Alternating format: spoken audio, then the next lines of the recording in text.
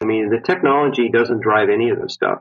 It's an enabler. It's, you know, I'm, I'm a former, uh, I was a math major when I went to school and I, you know, I've forgotten, uh, pretty much everything I learned, uh, there except for, uh, you know, one bit of logic, uh, necessary but not sufficient. And to me, that really sums up the role of technology in whether you call it CRM, CEM, collabor- collaboration.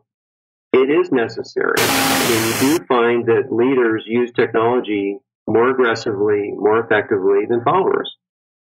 The problem is that if you look at that one dimension and you then extrapolate and say, well, all right, well, that, that you see a correlation, and I've seen that correlation. That, you know, leaders tend to use technology more aggressively and you put blinders on and you ignore all the other things that they're doing and you draw the conclusion that, well, if I use the same technology that Cisco's using or IBM's using or that some uh, software company is, is selling, then I too will be a high performer. And it doesn't work that way. It's, it's a necessary enablement but without the culture, the leadership, the reward systems, the real, you know, real business problems that need collaboration, it's a technology is a waste of time.